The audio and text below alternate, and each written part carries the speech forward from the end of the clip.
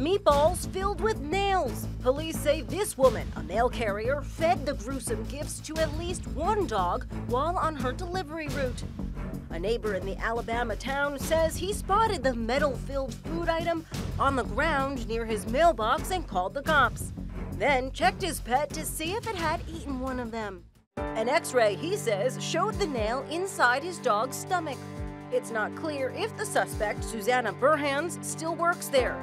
She was arrested and charged with animal cruelty.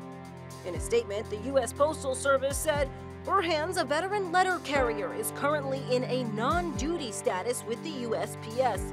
This type of alleged behavior within the Postal Service is not tolerated. As for the dog, it's expected to be okay.